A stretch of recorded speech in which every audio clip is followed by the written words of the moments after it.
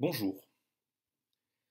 La Grande Peste de 1720 constitue le dernier et spectaculaire épisode de la pandémie de peste qui touche périodiquement l'Europe du XIVe au XVIIIe siècle. Comment cette tragédie a-t-elle pu se produire alors que les autorités marseillaises étaient habituées à la gestion du risque épidémique? Quelles ont été les conséquences humaines, politiques, sociales et économiques de ce drame? Telles sont les questions auxquelles nous allons essayer de répondre. À la veille de la tragédie, Marseille est une ville riche et dynamique grâce à son commerce florissant avec l'Afrique du Nord et le Moyen-Orient. Or, la peste est présente de manière endémique dans ces régions. C'est pour ça que euh, le premier port de France, depuis plusieurs décennies, a mis en place un dispositif sanitaire très strict qui permet à la ville de ne plus connaître de contagion à partir du milieu du XVIIe siècle. Les échevins qui dirigent la municipalité désignent des intendants de santé. Ces derniers s'assurent du bon fonctionnement du système. La clé de voûte de ce système, c'est le lazaret, ou infirmerie située hors de l'enceinte nord de la ville. C'est un espace clos, placé sous la responsabilité d'un capitaine. Quand un navire s'approche de Marseille et qu'il n'y a pas de raison de suspecter de maladie à bord, il mouille dans le port de Pomègue, une des îles du Frioul, au large de la ville. Les passagers et la cargaison sont conduits par chaloupe au lazaret pour y effectuer la quarantaine. Mais si une peste est fortement suspectée euh, à bord d'un bateau parce qu'il y a eu des morts pendant le voyage, la quarantaine doit avoir lieu à l'île de Jarre, plus au sud et plus éloignée de la ville. Cette réglementation sanitaire sévère montre son efficacité. Entre 1700 et 1720, la peste est présente à 16 reprises dans le Lazaret, sans que les alentours ne soient contaminés. C'est un dysfonctionnement de ce système qui conduit à la catastrophe. Le 25 mai 1720, euh, le navire le Grand Saint-Antoine revient à Marseille après un long voyage commercial de plusieurs mois sur les côtes d'Asie mineure et de Syrie. Il transporte une cargaison d'étoffes qui ont été achetées au Moyen-Orient pour le compte de grands bourgeois marseillais, parmi lesquels Jean-Baptiste Estel, échevin, et donc membre éminent de la municipalité. On sait maintenant que le bacille de la peste, porté par des puces, était présent dans des balles de coton chargées au Liban. Mais il y avait aussi des porteurs humains de la maladie à bord, car au cours du voyage de retour, on a compté 9 décès suspects. Or, malgré cette suspicion de contamination, les intendants de santé prennent des décisions étonnamment laxistes. Le grand Saint-Antoine, qui aurait dû, dans un premier temps, faire sa quarantaine à l'île de Jarre, est finalement autorisé à mouiller dans le port de Pomègue. La cargaison et les passagers sont conduits au Lazaret, mais ces derniers ont la permission de sortir au bout de 9 jours, ce qui est inhabituellement court. Pourquoi de tels dysfonctionnements Il n'existe pas de preuves écrites, mais euh, les historiens estiment que les propriétaires de la cargaison, riches et influents, à commencer par Jean-Baptiste Estel, sont intervenus pour assouplir les mesures de quarantaine.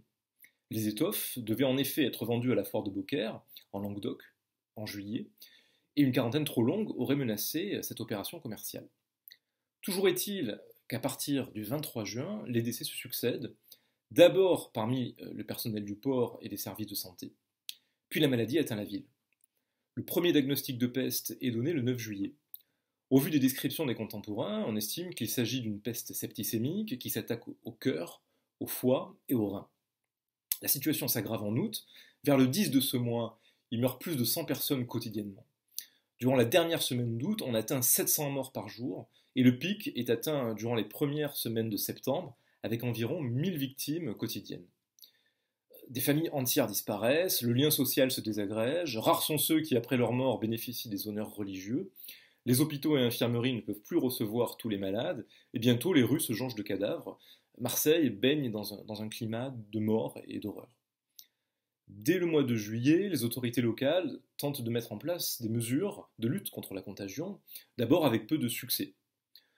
On impose la séquestration à domicile aux malades et à leurs proches, les écoles, tavernes, cabarets, églises sont fermées, les échevins organisent l'inhumation des cadavres avec de la chaux vive pour limiter leur contagiosité, bientôt il n'y a plus de place, et la municipalité n'a d'autre choix que d'évacuer les corps, moyennant la réquisition autoritaire de moyens de transport et de main-d'œuvre.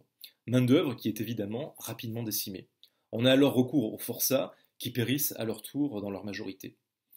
Parallèlement, le Parlement de Provence interdit tout commerce avec Marseille et ordonne la stricte fermeture des portes de la ville. Outre ce blocus, des mesures répressives visent aussi les catégories de population traditionnellement victimes de préjugés et suspectées d'être vectrices de maladies, les, prostituées et les vagabonds font l'objet d'une surveillance accrue, et le Parlement demande l'expulsion des Juifs. Le pouvoir royal intervient, contribuant aussi à modifier le paysage institutionnel de Marseille. En septembre, la monarchie nomme à la tête de la ville un commandant militaire doté de pouvoirs extraordinaires. Sous son autorité, les services de police sont renforcés et on crée même de nouvelles unités spécifiquement dédiées à la gestion de la peste.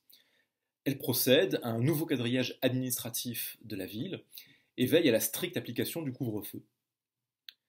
Évidemment, la lutte contre la maladie implique aussi une mobilisation médicale. Début août, sur conseil des médecins qui estiment que la peste est présente dans l'air, la municipalité ordonne de faire des feux dans les rues, sur les places, et dans chaque pièce de chaque maison, dans le but de purifier l'air. Une mesure évidemment inefficace. Pour assurer les soins aux malades, le conseil de ville salarie exceptionnellement les médecins et les chirurgiens, mais face aux défections et aux décès, il faut bientôt recruter du personnel médical extérieur à la ville. Des bâtiments, notamment religieux, sont également réquisitionnés pour faire face à l'afflux des malades. Les soins apportés, tributaires des connaissances médicales de l'époque, se révèlent généralement inefficaces.